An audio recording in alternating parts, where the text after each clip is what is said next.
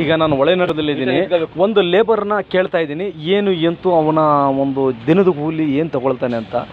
ಅಪ್ಪ ಕೆಲ್ಸಕ್ಕೆ ಬರ್ತೇನಪ್ಪ? ಬರ್ತೀನಪ್ಪ ಐನೂರು ರೂಪಾಯಿ ಕೊಡು. ಎಷ್ಟೊತ್ತು ಕೆಲಸ ಮಾಡ್ತೀಯಪ್ಪ? ಐನೂರು ರೂಪಾಯಿಗೆ? ಬೆಳಗ್ಗೆ ಒಂಬತ್ತು ಗಂಟೆಯಿಂದ ಸಂಜೆ ಆರು ಗಂಟೆ.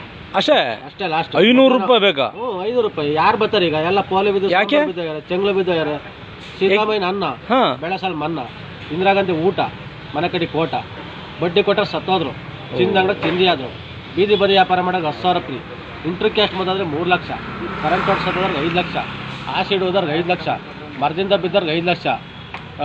ಒಂದನೇ ಕ್ಲಾಸಿಂದ ಹತ್ತನೇ ಕ್ಲಾಸ್ ಗಂಟ ಮಾಸ್ಟರ್ಗಳಿಗೆ ಮಕ್ಕಳುಗಳಿಗೆ ಹುಡುಗರುಗಳಿಗೆ, ಅಡುಗೆ ಸಹಾಯಕರುಗಳಿಗೆ ಬಿಸಿ ಬಿಸಿ ಬಿಸಿ ಊಟ. ಹಾವು ಕಡಿದ್ರೆ ಐದು ಲಕ್ಷ ಚಿರತೆ ಕಡಿದ್ರೆ ಐದು ಲಕ್ಷ, ಮನೆ ಬಸ್ ಮಾಡಿದ್ರೆ ಐದು ಲಕ್ಷ. ರೈತರಿಗೆ ಬಡ್ಡಿಲು ಸಾಲ, ಕೃಷಿ ಆಫೀಸಲ್ಲಿ ಬೇಕಾದಷ್ಟು ಸಬ್ಸಿಡಿ ಅರವತ್ತೈದು ವರ್ಷ ಆದರೆ ಫ್ರೀ ಪಾಸು ತಿಂಗಳಿಗೆ ಮೂರು ಸಾವಿರ.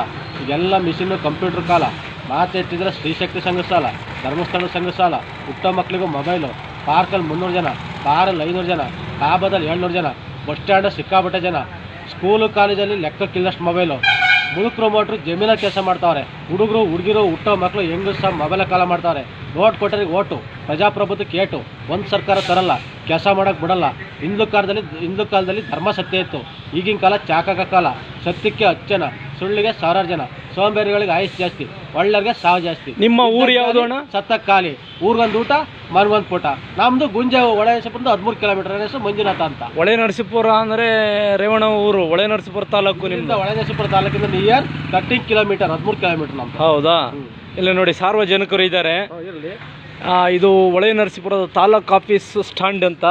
ಇಲ್ಲಿ ತೆಗಿತಾರ ವಿಡಿಯೋ ನಾವೇ. ಆಯ್ತು. ನೋಡಿ ಆಯ್ತು. ನಮ್ಮ ಸ್ನೇಹಿತರು ಇವರು ಬಹಳ ಚೆನ್ನಾಗಿ ಒಂದು ಮಾತಾಡವ್ರೆ.